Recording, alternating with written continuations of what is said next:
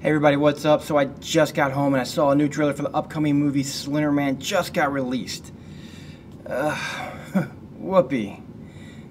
Didn't we just get a Slender Man movie a couple of years ago?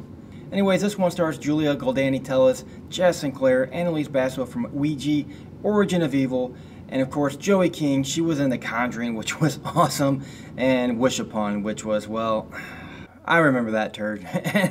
now, I'm not one for easily forgiving people who literally destroy an hour and a half of my life. But I'm going to try to move on. Slender Man is, of course, about the tall, thin, horrifying figure with unnaturally long arms and featureless face that's a huge urban legend and who is thought to be behind countless hauntings and disappearances of young children. I personally love horror movies. Even some of the worst horror movies still have redeeming qualities that make them, well, entertaining and watchable. So let's go ahead and get this one started, guys. Check it out, see what it looks Once like. Once you see him, you can't unsee him. Blow low, cute trailer. Okay, Twitter poll. If you could stay one age forever, what would it be? What about the age we are right now? Seriously? Sometimes I wish we could just get out of this stupid town together.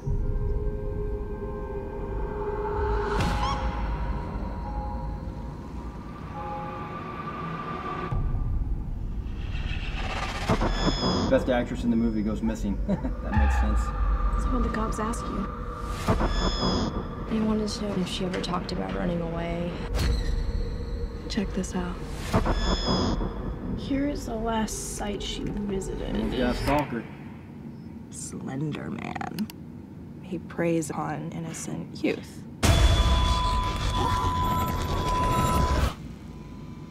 What was that?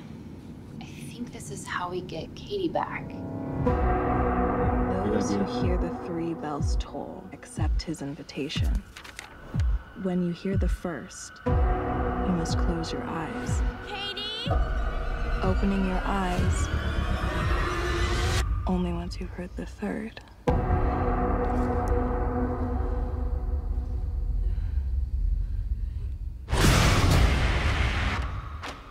He gets in your head like a virus.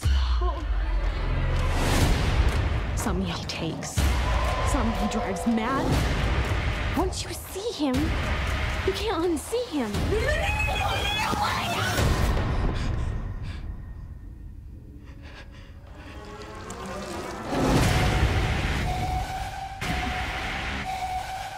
I can still see him. I can still see him. I can still see him. I can still see him.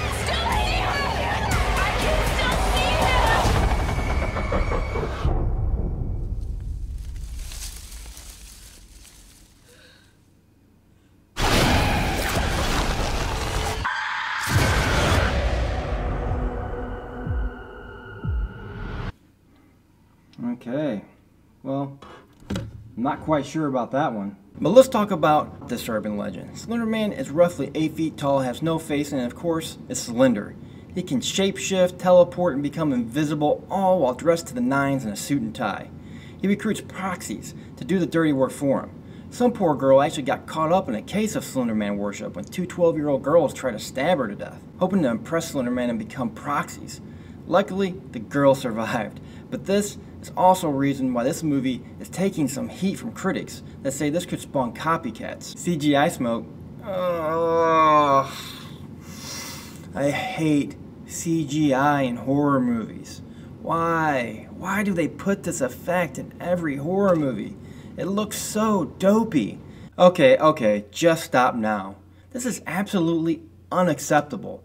What was the budget for this movie? This just looks awful. And the rest of this trailer just looks like a bunch of cuts of jump scares. I could be surprised though, but I'm gonna have to give this trailer a 2 out of 5.